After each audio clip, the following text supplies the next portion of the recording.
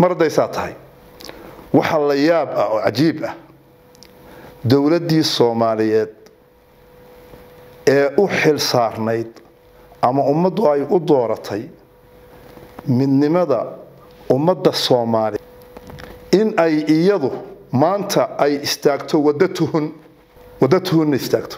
Waxaan saa u leeyahay ma moogi dowladdu inay mowqifkeedii caddaysay oo weliba mudane madaxweyne xasan sheikh uu mowqifkiisii caddeeyey oo uu markuu maraykan joogay caddeeyey oo soomaaliya markuu joogay caddeeyey isagoo aan wax gabasho a lahayn.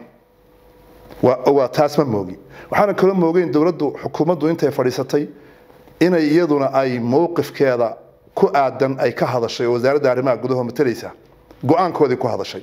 Laakiin miyaan dadku ka shakin karin ama miyaanay waddo tuhun ahayn in mas'uulkii labaad ee xukuumaddu uu yidhaahdo dadkii midnimada ku dirirayey oo ku dagaalamayey oo midnimada soomaaliyeed ilaalinayay uu duro ama wax ka sheego ama uu yidhaahdo ama uu nasaho oo beri yeelo maamulka goosadka ee somalilan miyaanay waddo tuhun noqonayn?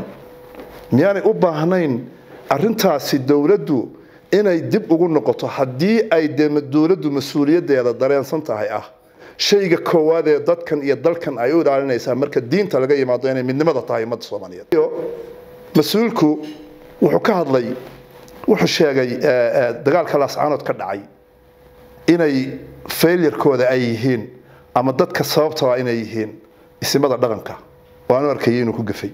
Okay taas markaan isu taago marka wuxuu yidhi waa failure siyaasadeed ma waxa failure ah soomaaliyay idinkaan idin weydiiya. Laascaanood sidii wax uga dhaceen waad ogeydeen. Sidii dagaalkaasi ku bilaabmay iyo qallaasahaasi waad ogeydeen. Ummad haldoorkeedii habeen walba la dilayo ayaa shacabkeedii kacay. Dumarkii iyo caruurtii oo mudaharaadaya ayaa suu iyo dhashiika madaxa lagala dhacay ma mas'uuliyiinta somalilan ee waxaa samaynaysay baa failure ah mise waxaa failure ah isimada dhaqanka ee ilaa iyo hadda midnimada ummadda soomaaliyeed u taagan oo mar kastoy hadlaan leh annagu soomaali ka go'i mayno. Waxaanu ilaalinaynaana waa midnimada ummadda soomaaliyeed ma waxaa failure ah siyaasiyiinta ama mas'uuliyiinta somalilan ee ilaa iyo maanta oo ay laba bilood ku dhowdhowdahay la dhacaya madaafiicda bmka iyo hobiyaha iyo waxa lamidka ku garaacaya. Guryaha maatadu ay degan tahay oo carruurta iyo maatada ku laynaya oo ku duminaya mise waxa ah dhaqan kale war midnimaanu doonaynaa war haddaad go'aysaan idinla go'i mayno. Ma waxaa failure ah ninka shalay wuxuu dowladdii soomaaliyeed ku duminayay oo kula dirirayay oo ahayd oo ka cabanayay isagu maantu samaynaya miyaa ah mise waxaa failure ismadal war midnimaanu doonaynaa midnimo soomaaliyeed war waxaana la ku dilayaa waa guryaha iyagii ilaah war waxaana la ku dilayaa waa dadkoodii. Isimadu xaq bay u leeyihiin inay u damqadaan dadkooda. Dadkoodii oo dhashiikaya suu madaxa lagala dhacaya bay arkeen. Inay u damqadaan oo yidhahdaan madaxa koru qaada oo midnimada soomaaliyeed difaaca. Anigu inay ku saxsan yihiin baa qabaa failurena maaha cidda failurkaana way muuqataa.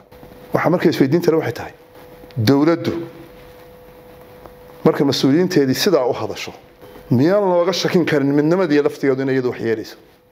Miyaan looga shakin karin waddo tuhun oo midnimadii ay dhaawac ku gaarsiinayso? Waxaan qabaa anigu dowladdan aan ka codsanaynaa. Mas'uulka hadle mas'uul saaran maaha. Waa mas'uulkii labaad ee xukuumadda.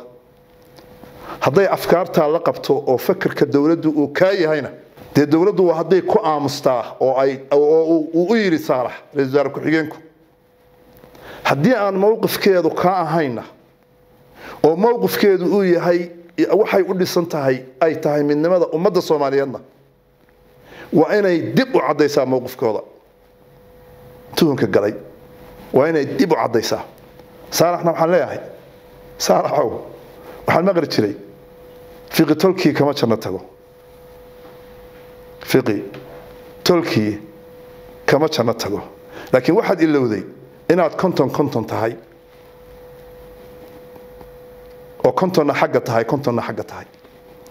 Waxaad ilowday mas'uuliyadda aad ku fadhidid oo ah tii ummadda soomaaliyeed ee waxa koowaad midnimada ahaa iyo calanka aad hoos fadhiyid oo kii soomaaliyeed buluug ahaa oo ka dadkan lagu laynaya. Ah maxaad u qaadateen? Lagu laynayaa intaaba waad ilowday wax ka xoog weyn baa ku jiitay. Waxaan leeyahay oo intaa ku darayaa kaftana dowladdu mowqifkeeda ha caddayso.